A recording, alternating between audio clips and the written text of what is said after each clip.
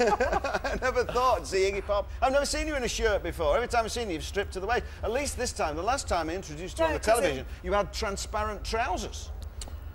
The beauty of being me is that you can wear the expensive clobber Yeah. and you can walk down Camden High Street at a packy shop and say, Oi, those transparent trousers look pretty fucking good. I bet they'd look good on my gigantic, you know. Right. yeah, right. Right. Well, I there- think I know, yeah. All right. So listen, I, mean, I, I, I don't think. You've uh, already blown the whole uh, yeah, yeah. Well, you probably. The door's over there. Probably. What was it like tonight out there for you? Oh, it was beautiful. Was it?